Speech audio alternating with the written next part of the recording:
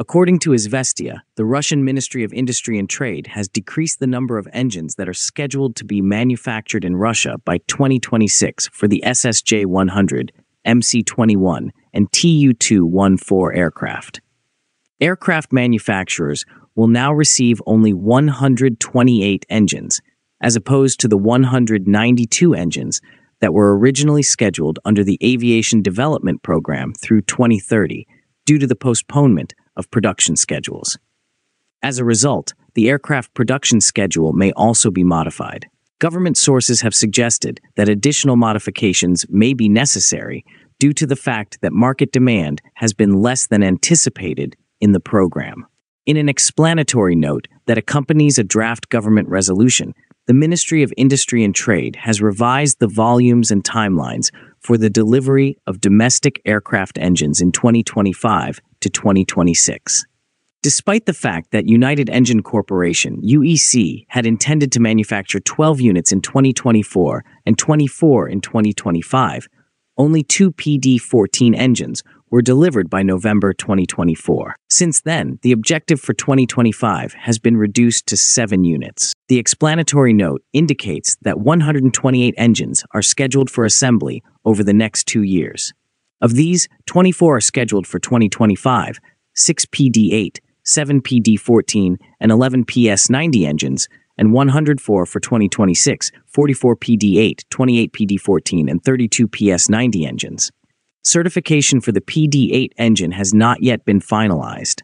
The initial 2030 development program was intended to produce 192 engines in 2025 to 2026.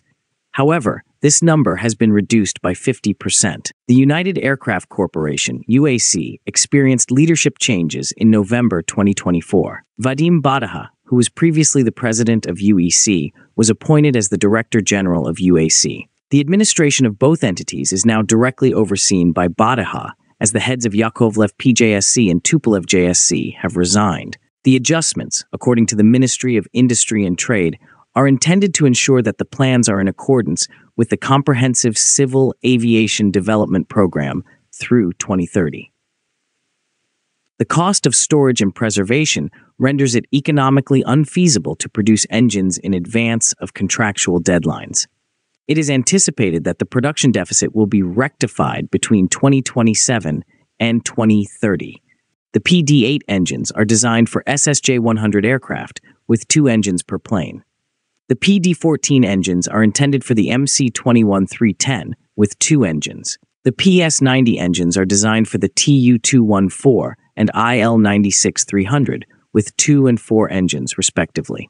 Nevertheless, the current production figures do not account for replacement and repair reserves, which account for 10 to 40% of operational fleets. Up to 25 SSJ new and 17 MC 21 aircraft may be operational in Russia by the conclusion of 2026. The SSJ 100 and MC 21 use the Russian French SAM 146 engines and Pratt & Whitney PW 1431G engines, respectively.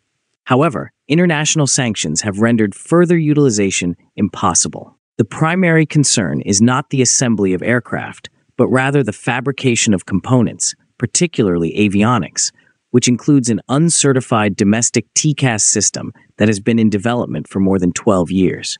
The TU 214, which necessitates 13% component replacement, and the MC21 and SSJ100, which necessitates 60% and 80% respectively, encounter substantial obstacles in the context of import substitution. The aviation sector has exhibited resilience, as evidenced by the regular operation of flights, and a government source acknowledged the necessity of revising the production program. Although foreign aircraft can continue to operate for 20 to 30 years, their economic sustainability will eventually be compromised by the escalating costs of maintenance. In the coming years, experts recommend that the proportion of domestic aircraft be increased and in house repair technologies be developed while replacing approximately 500 narrow body medium haul aircraft, such as the Airbus A319, A320, A321, and Boeing 737 800. Now, do you think this indicates that domestic aircrafts will take more time to arrive? Let us know in the comments.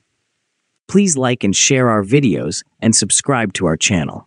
Please also take membership in our channel to encourage us